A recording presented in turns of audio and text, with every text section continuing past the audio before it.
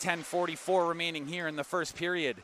Helps the Bucks get a line change in. Out comes that top line, Hassan Highmore. Actually, he's uh, on, been moved to the second line actually to get things shaken up a little, little bit. Now driving in towards the goal, Bohometsky looking, they score!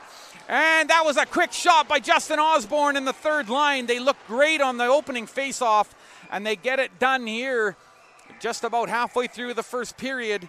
And Justin Osborne, the Maple Ridge native, snipes one. The right shooting forward popped it top shelf up over Fletcher's glove, and he was not much he could do. The shot came really quickly and Sardis loose puck in behind their goaltender Fletcher.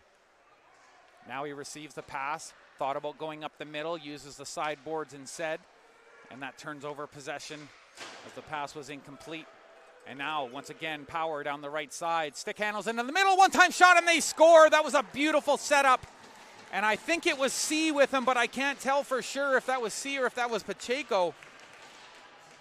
I'm thinking probably Pacheco, but I'll have to wait and see. He turned away the, as soon as he got that one timer off.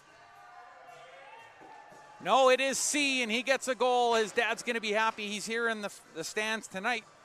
And power play, stick is slapping on the ice. Can the Bucks get anything done here at the close? Into the middle of the ice, and that one goes right straight down to Zaid Boltaki as he tries to sprint loose, and he's got a man with him. Tries to move it in the middle, but they catch up with Blake Power, but they keep the play live from the sharp angle. One time shot, they score!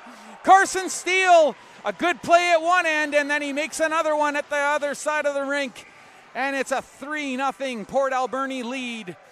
And the Bucks there couldn't have been worse timing for Zaid Boltaki to come out of the box and collect that puck. And there's a few Buccaneers that are quite upset with how that one went down, but really hurt Tyson Tupper as he sacrificed his body and he was holding his elbow. Puck at the side of the goal as they throw a couple of hits moving in. Sandberg loads, shoots, and there's a diving block again. And this time, Justin Pitchor, actually, I think that's who it was. And now a couple legs get caught up as Klippenstein was all tangled up with Tanner Truswell. And Klippenstein wants a little bit more. But I believe they're just letting that have the time expire there right at the end. There was really close to nothing left on the clock. I'm not sure what they're going to do, but the Bombers are celebrating.